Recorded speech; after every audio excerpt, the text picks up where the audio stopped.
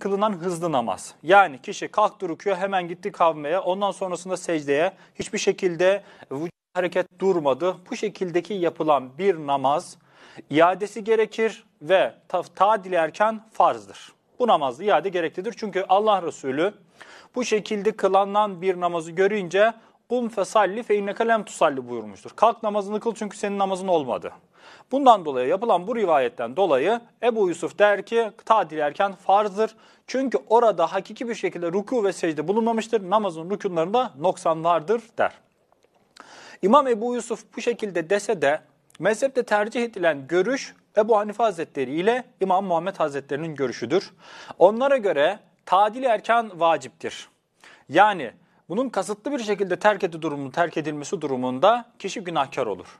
Kasıtsız yapılması durumunda ise yani unuttu, hızlı bir şekilde tadil erkanın yapılması gerektiğini unuttu. Bu durumda sehiv secdesi vacip olur.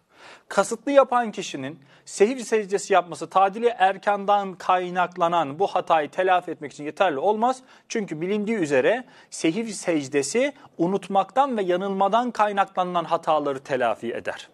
Bile, bilerek, isteyerek yapılan hatalara sehiv secdesi telafi etmeyecektir.